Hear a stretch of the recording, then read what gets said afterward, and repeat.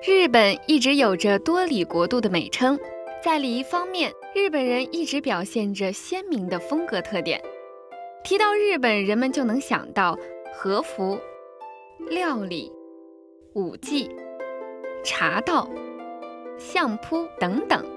每个领域都始终秉承着礼节第一。可以说。没有一个国家如同日本一样将礼仪文化形态保存得如此完好。那么，日本这些礼节是源于哪里呢？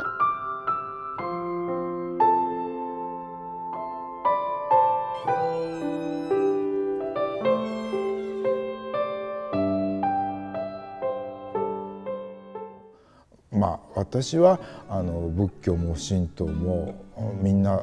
あの日本人はそういうものを信じ,、まあ、信じてるっていうこととは意識してないかもしれませんけどでも結果的には仏教徒であったり神道であったりっていう宗教が日本の中にはあの今でもあって、えー、それを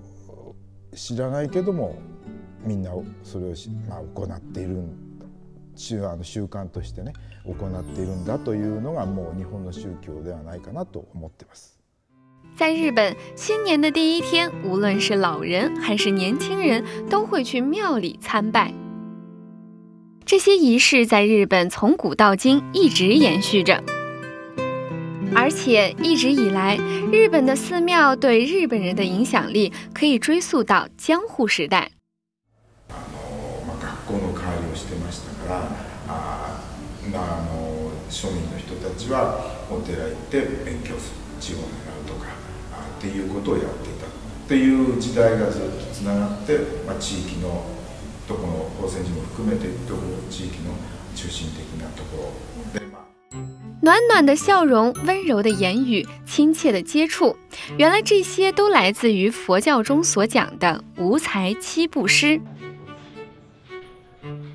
無罪の七世って言って無罪っていうのはあのご存知の通り仏教のお布施って言って何かこうあげます、まあ、坊さんにお布施って言って何かをあのあげるあるいは何かをしてあげるとかっていうことでそれを伏せっていうんですけど無罪って要するに一銭もお金も使わないであの人のためになることがありますよっていうのがあってそれから相手に優しい言葉をかけるとかあ優しい気持ちを持って接するとかそういうようなものも含めてあの無罪の七世っていう一切もお金も使わないで笑顔を与えるあるいは気持ちを伝える優しい言葉をかける。そういうそれはまああの7つもっとあるんですけどもあの仏教ではあの慈悲の心って言ってます。で、えー優しい気持ちを持って接するっ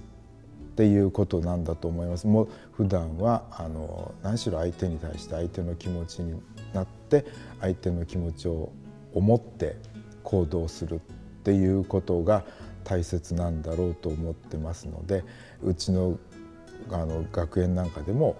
子どもたちにできるだけそういうふうになってもらいたいというふうには言ってます。